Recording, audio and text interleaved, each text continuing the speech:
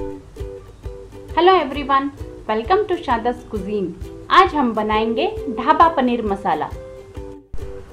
इस वीडियो को लाइक और हमारे चैनल को सब्सक्राइब ज़रूर करें।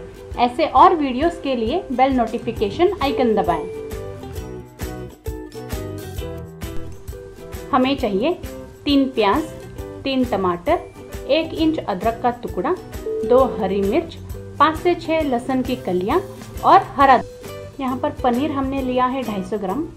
खड़े मसाले में हमने लिया है दालचीनी, इलायची, जावित्री, लवंग, चक्री फूल, काली मिर्च, जीरा और कसूरी मेथी। सूखे मसालों में हमें चाहिए नमक, हल्दी, लाल मिर्च पाउडर, काश्मीरी मिर्च पाउडर, धनिया जीरा पाउडर, बेसन और दही।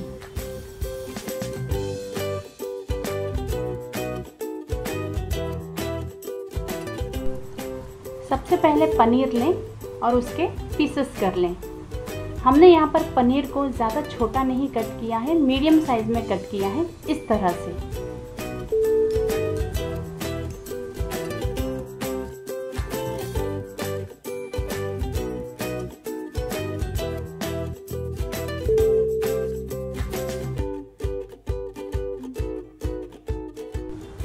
अब पनीर के पीसेस को मसाला लगाएँगे।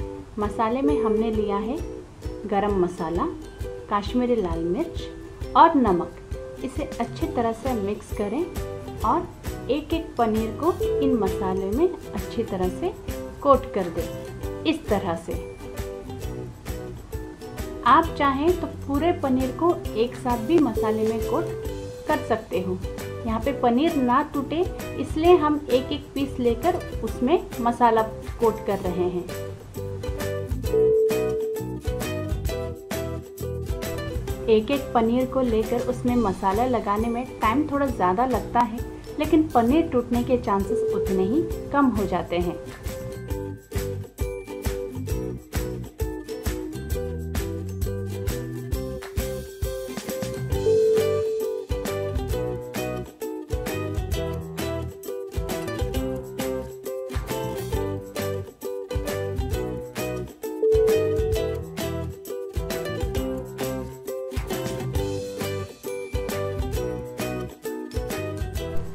सारे पनीर को हमने अच्छे से मसाला लगा लिया है। अब इसे 5 से 10 मिनट तक इसी तरह मैरिनेट होने दें। प्याज लें और उसे बारीक कट कर लें। प्याज जितनी अच्छे से बारीक कट होगी, आपकी ग्रेवी उतनी ही अच्छी बनेगी। आप चाहें तो प्याज को मिक्सर में ग्राइंड करके उसका पेस्ट भी यूज़ कर सकते हैं।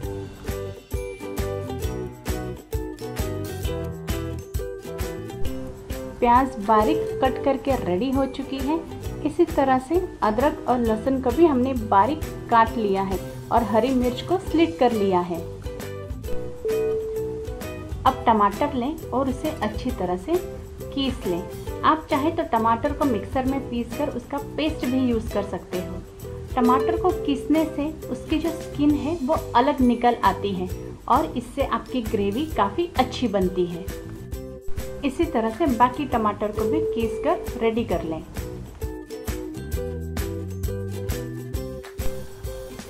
पनीर को फ्राई करने के लिए एक पैन लें, उसमें एक बड़ा चम्मच तेल गर्म करें। तेल हल्का सा गर्म होने पर इसमें छोटी सी दालचीनी का टुकड़ा, दो लवंग और इलायची डालकर इसे अच्छी तरह से भून लें। लवंग और दालचीनी की खुशबू अच्छी तरह से तेल में आ चुकी है। अब उसी तेल में एक एक करके पनीर रखें और लो फ्लेम पर एक मिनट तक अच्छे से भून लें। एक एक करके सारे पनीर को पलटें और दूसरे साइड से भी आधे मिनट तक इसे अच्छे से लो फ्लेम पर भून लें।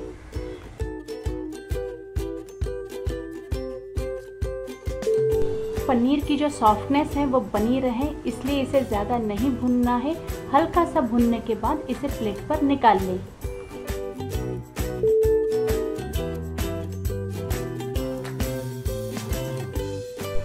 पनीर को फ्राई करके बचे हुए तेल में एक छोटा चम्मच तेल और डालें और एक चम्मच घी डालें और इसे गर्म करें।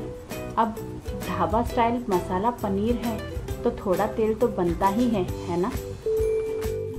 तेल अच्छे से गर्म हो गई है। अब सबसे पहले डालेंगे जीरा। जीरा अच्छे से पकने के बाद एक एक करके सारे खड़ा मसाला डालकर इसे अच्छी तरह से भून लें।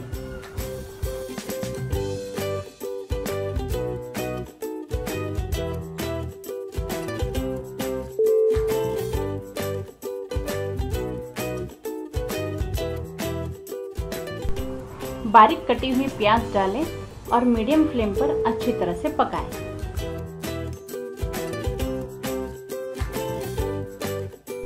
प्याज को तब तक भूनें जब तक वो हल्की सी ब्राउन ना हो जाए।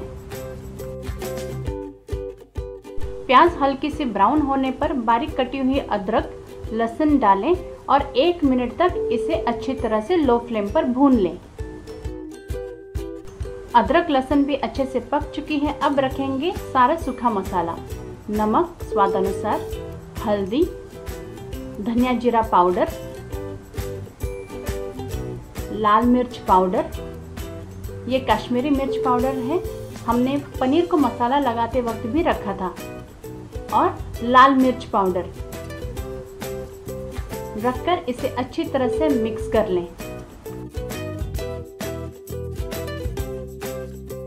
मसाला अच्छे से भून चुकी है।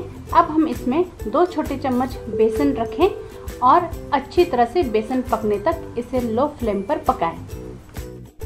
बेसन ग्रेवी को गाढ़ा बनाने के लिए इस्तेमाल किया जाता है। सारे मसाले और बेसन भी अच्छे से पक चुकी है। अब रखेंगे टमाटर और इसे लो फ्लेम पर अच्छे से मिक्स कर लें।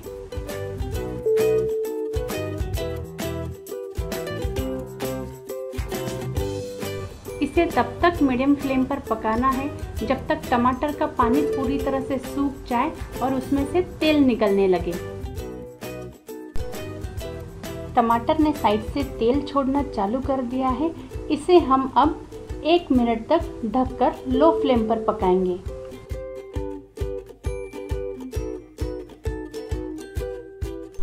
एक मिनट हो गया है, अब हम ढक्कन निकाल के देखेंगे। देखिए, टमाटर के साइड साइड से पूरी तरह से तेल निकल आई है। किसी भी खाने का स्वाद तब भी आता है जब उसके सारे मसाले अच्छे से पक जाएँ। अब इसे बिना ढके दो मिनट तक लो फ्लेम पर और पकाएँ। जब मसाला तेल छोड़ने लगे और टमाटर का पानी भी पूरी तरह से सूख जाए तो समझ लीजिए आपका मसाला अच्छे से पक चुका है। अब इसमें डालेंगे हरा धनिया और इसे एक मिनट तक लो फ्लेम पर भूनेंगे ताकि धनिया की पूरी स्वाद अच्छे से मसाले में मिक्स हो जाए। फिर हम डालेंगे कसूरी मेथी और इसे एक मिनट तक भून लें। अब रखेंगे फेटा हुआ दही। दही को हमने पहले ही फेट कर रख लिया था। दही ज़्यादा खट्टी नहीं होनी चाहिए, नहीं तो ग्रेवी काफ़ी खट्टी बनेगी। ग्रेवी में दही ना फटे, इसलिए दो से तीन मिनट तक मीडियम फ्लेम पर इसे लगातार हिलाते रहना है। मसाले के साथ दही अच्छे से पक गई है। अब रखेंगे इसमें पानी। हमने यहाँ पर एक गिलास पानी रखा है। ग्रेवी आपको जितनी थिक चाहिए, उसी हिसाब से पानी एडजस्ट करें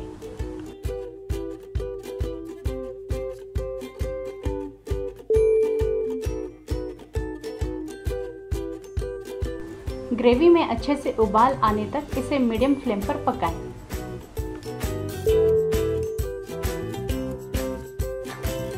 अब पनीर डालें और लो फ्लेम पर दो से तीन मिनट तक अच्छे से पकाएँ। ग्रेवी में दही रखने से काफ़ी अच्छा स्वाद आता है। साथ में इसका टेक्सचर भी काफ़ी अच्छा दिखता है। हमारी ग्रेवी में थिकनेस काफ़ी अच्छी आई है और साथ में इसका कलर भी देखिए, कितने अच्छे से लाल है। अब ग्रेवी पनीर सारे अच्छे से पक चुके हैं। ये सर्व करने के लिए रेडी है। गर्मा गर्म रोटी या चावल के साथ मज़ा लीजिए। हमारी रेसिपी ढाबा पनीर मसाला रेडी हो चुकी है। प्लीज़ ये रेसिपी ट्राई करें और अपने कमेंट्स हमें ज़रूर दें।